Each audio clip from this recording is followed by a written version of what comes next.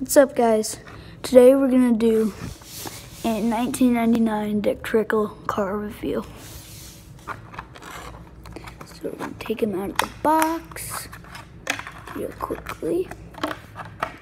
Put that aside. So it rolls, but there's not really rubber tires. It's from 1999. Really like um, the paint scheme on it. It's really cool.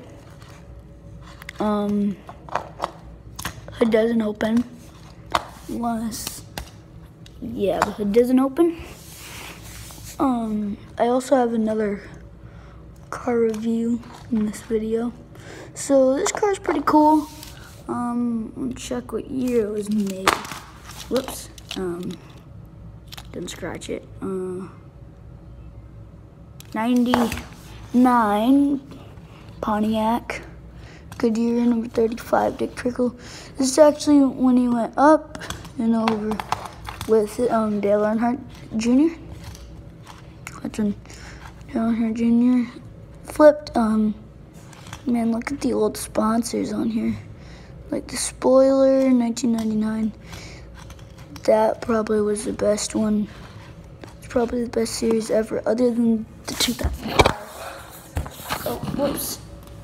Now the next car I'm going to show you is a Kevin Harvick.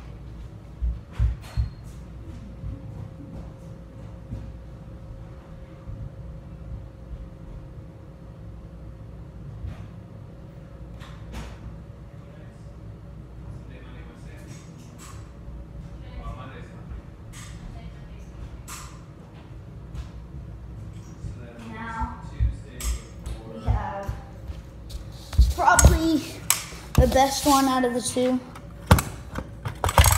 is 124 scale.